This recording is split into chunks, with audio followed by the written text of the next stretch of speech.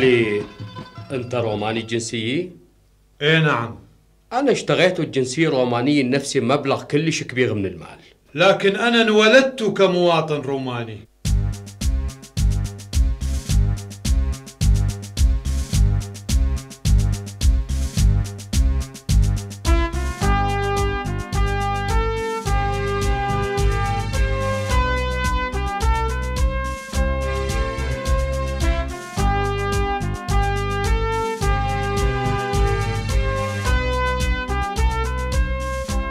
الحرس اللي أمرهم الضابط باستجواب بولس ابتعدوا رأسا من سمعه هو روماني الجنسية والضابط انزعج انبور هو كتف بولس بالزناجيل.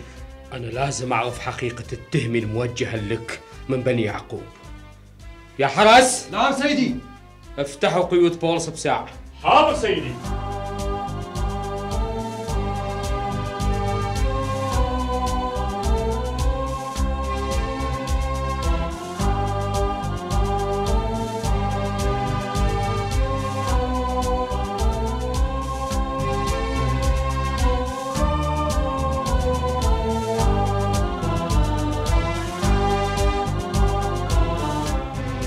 إلقاء الثاني يوم أمر رؤساء الدين وعلماء الشريعة وكل أعضاء المجلس الديني البني يعقوب أن يجتمعون وأخذ بولس ووقفوا قدامهم.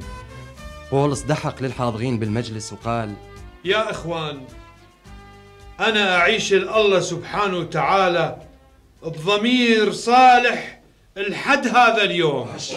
اضربونه اضربونه على فمه الله يضغبك الله يضغبك يا منافق. أشون تقعد هوني حتى تحاكمني حسب الشريعة؟ فتخالف الشريعة وتؤمر بضغبي. عشان عشان تخالق رئيس علماء الدين؟ عشان يا إخوان ما كنت أعرف أنه هو رئيس علماء الدين. انبور الكتاب يقول لا تخيلق رئيس شعبك.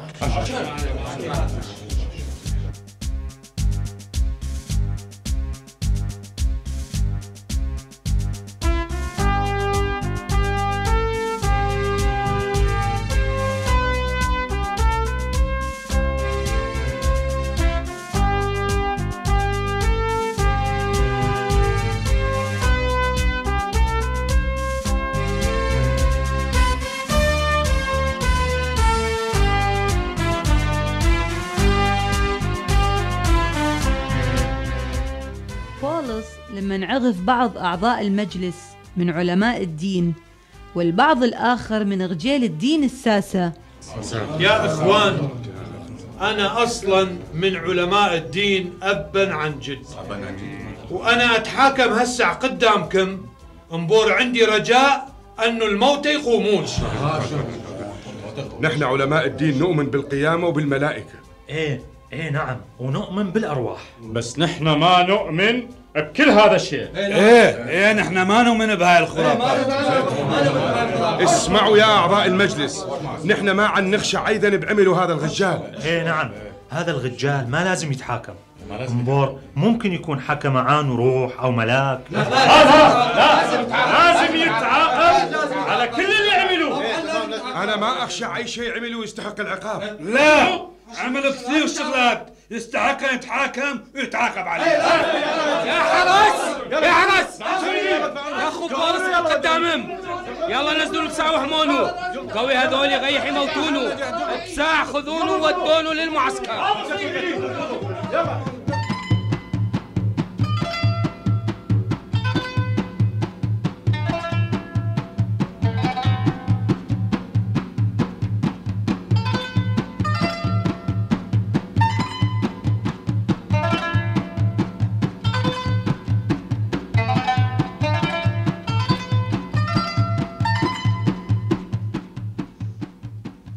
وبالمعسكر جاء مولانا عيسى بالليل لبولس وقال له تشجع لازم تشهد لي بروما مثل ما شهدت لي هوني بالقدس. ثاني يوم الصبح تآمروا مجموعة من بني يعقوب على قتل بولس. يا جماعة يا جماعة لازم نقتل بولس هذا. إيه نعم انبور هذا ما يستحق الحياة. خلص من شره. نحن نحن نحرم الأكل والشرب علينا إلى أن نقتل هذا الشخص. يلا يا جماعة يلا. خلي نروح العلماء الدين والشيوخ حتى نخشع أشنو رايم؟ يلا. يلا يا جماعة يلا.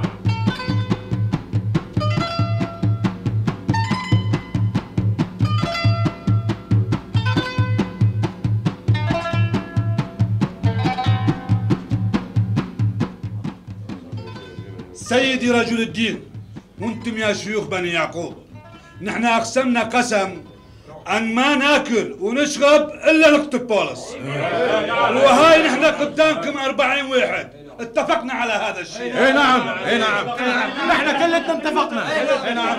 نعم. لازم يقتل بولس. وهسع وهسع وهسع وهسع سيدي وهسع نريد من عندكم أن تطلبون من الضابط المسؤول على سجن بولس. أن يجيب بولس قدامكم بحجة أن تعملون تحقيق معانه. ونحن رايح نكون مستعدين أن نقتله قبل ما يصل المجلس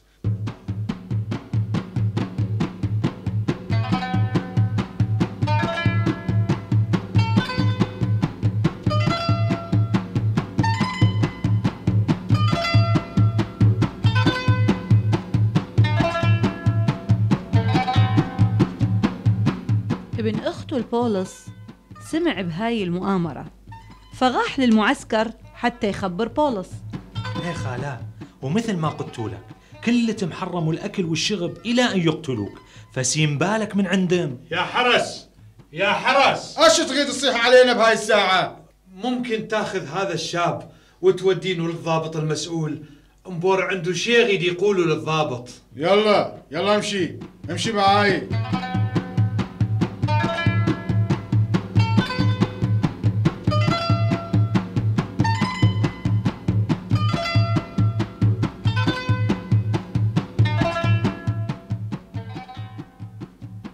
سيدي الضابط المسجون بولس بعث علي وطلب مني أن أجيب لك هذا الشاب. انبر عنده شيء يريد يقول لك.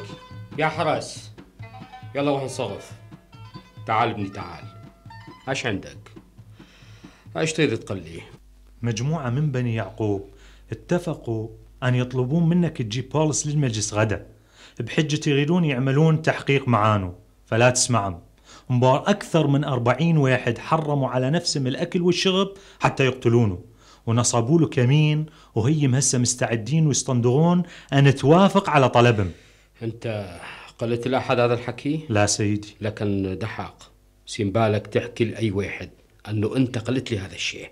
مليه؟ أي نعم سيدي. يلا أنت تفضل ارجع لبيتكم ومثل ما قلت لك لا تحكي لأي واحد.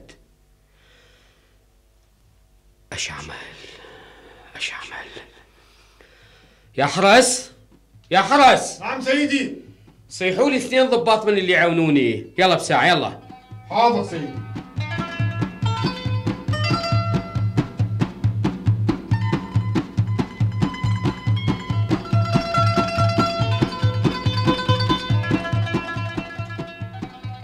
طلبتنا سيدي.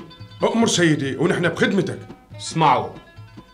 حضروا 200 جندي و70 فارس و200 مسلح بالحراب حتى يروحون القيصرية الساعة بالتسعة بالليل. مثل ما تأمر سيدي. اسمعوني تحضرون فرس يركبه بولس حتى يصل سالم للحاكم فيليكس. وهسه اكتبوا هاي الرسالة اللي غيح أبعثها معاكم للحاكم. يلا بساعة اكتبوا من الضابط كلوديوس إلى صاحب الفخامي فيليكس الحاكم. بعد التحية. هذا الرجال قبضوا علينا بني يعقوب وكانوا يريدون يقتلونه. لكن أنا وصلت مع جنودي بالوقت المناسب وخلصناه منهم. انظر أنا عرفت أنه هو مواطن روماني.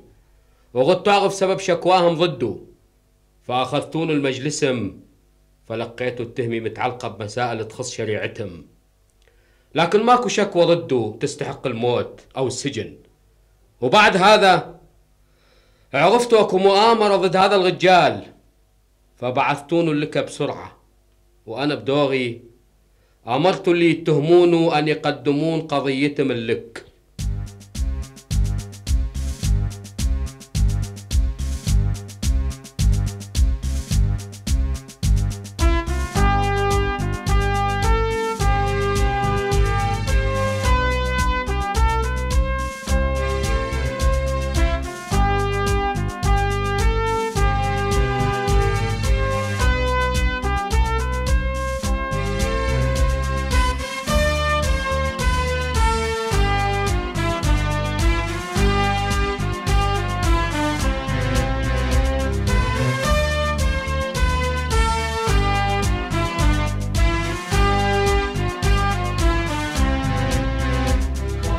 الجنود نفذوا الأوامر وأخذوا بولس معهم بالليل.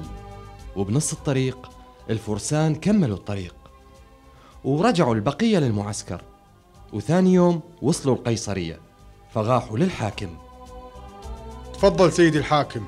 هاي رسالة لك من الضابط كلوديوس وهذا المسجون نسلمه لك. أخشى أعطوني الرسالة حتى أقرأها. من الضابط كلوديوس إلى صاحب الفخامة فيليكس الحاكم.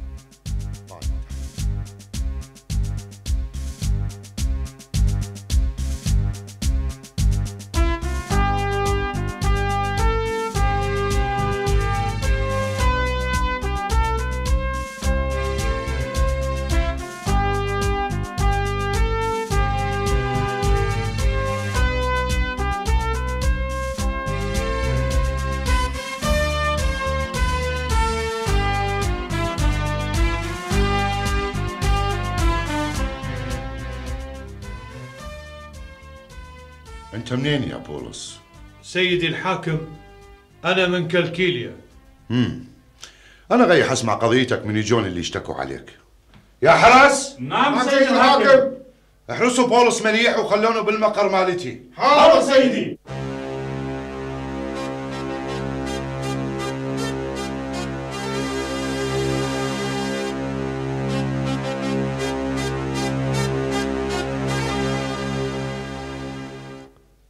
بعد خمسة أيام وصل حنانيا رئيس علماء الدين لقيصرية ومعانه مجموعة من الشيوخ ومحامي اسمه ترتلس وقدموا شكيتهم ضد بولس قدام الحاكم فيليكس.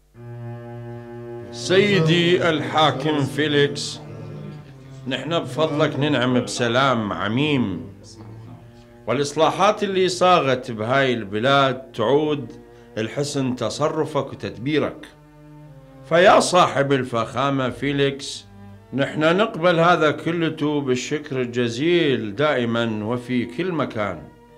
حتى ما أطول عليك الكلام أرجو منك أن تسمعنا بلطفك. تفضل احكي. باختصار لقينا هذا الرجال يسبب المشاكل ويثير الاضطراب بين بني يعقوب بكل أنحاء العالم.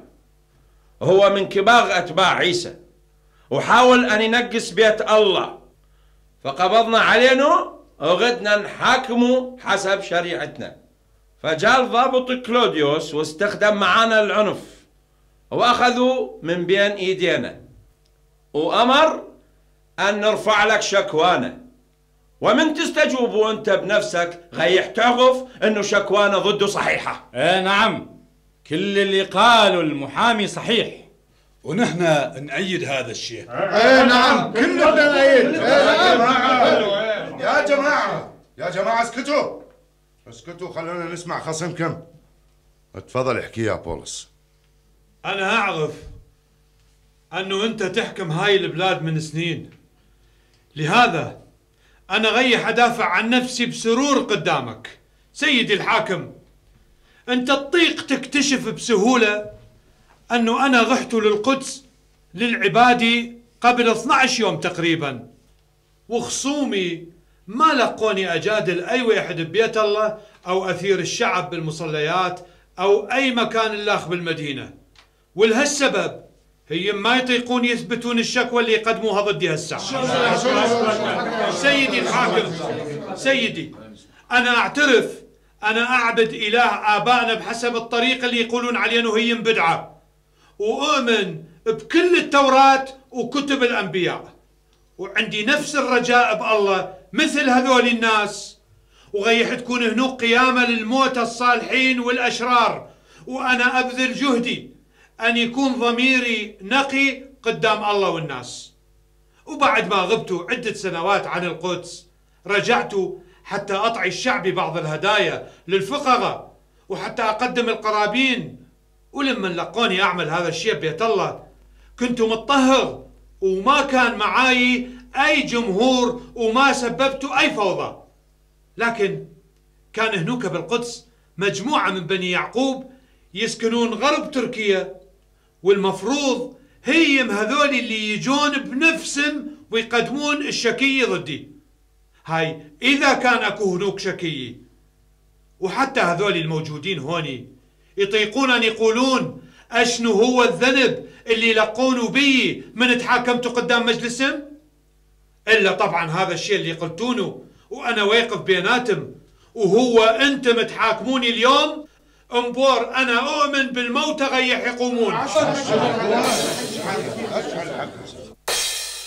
الحاكم فيليكس كان يعرف كثير أمور عن طريق المسيح فرفع الجلسة من يجي الضابط كلوديوس؟ أنا غيح احكم بقضيتكم. يا قائد الحرس نعم سيدي. خلي بولس تحت الحراسة. واطعينه حرية بالحركة. واسمح الأصدقاء أن يزورونه ويقومون بخدمته حاضر سيدي.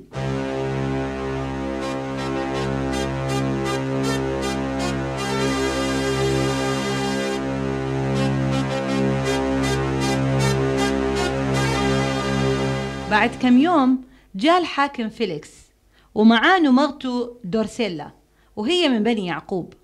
فبعث على بولس واستمع لحكينه عن الإيمان بالمسيح عيسى.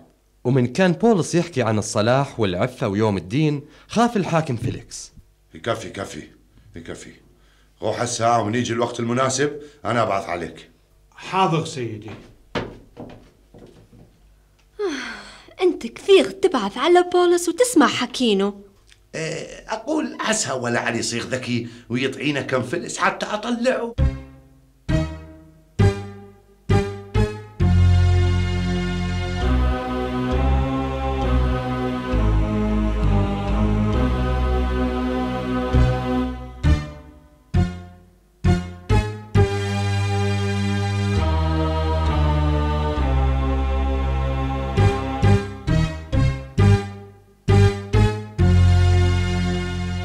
ومرت سنتين وبولس بالسجن.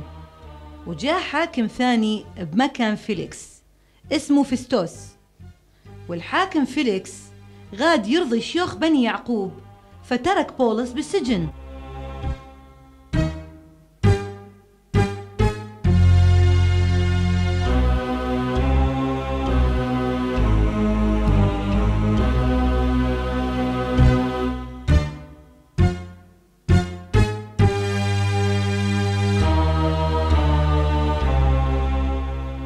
ما وصل فستوس للولاية بعد ثلاثة أيام راح من قيصرية للقدس.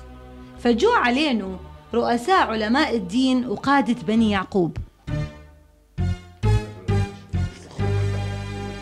سيادة الحاكم فيستوس نحن نريد نعرض عليك شكوانا. تفضل احكوه. نحن نريد من عندك. أن تؤمر بنقل مسجون عندك بقيصرية اسمه بولس للقدس. وهو هاجم شريعتنا. وشكوانا هاي بزمن الحاكم فيليكس. يعني قبل سنتين تقريبا. إيه نعم. نطلب من عندك أن تبعثوا هذه للقدس ونحن ما ريح ننسى فضلك. رجال الدين طلبوا هذا الشيء من الحاكم ومبورهيم نصبوا له كمين بالطريق حتى يقتلونه. فقلم الحاكم فيستوس بولس محجوز بقيصرية. وأنا عن قريب راجع لهنوك. فخلوا بعض من قادتكم يجون معاي ويقدمون الشكية ضد هذا الرجال هنوك. هذا إذا كان كن عمل ذنب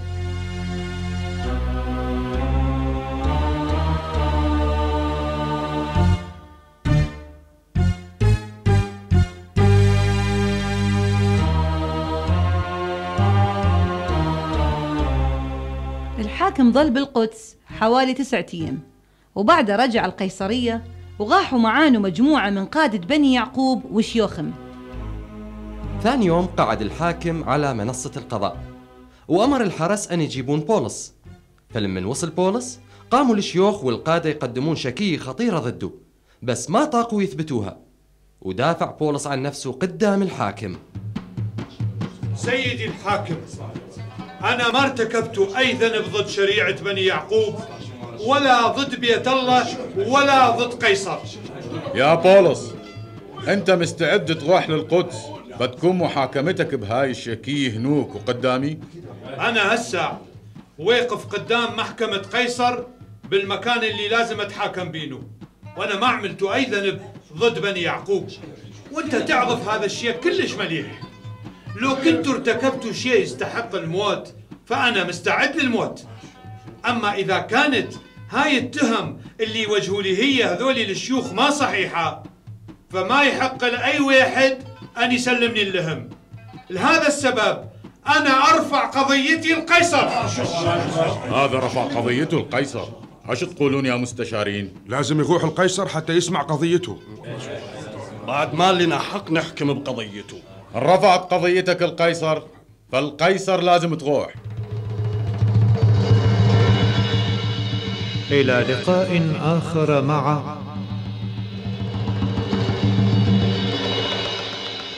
الحواريون.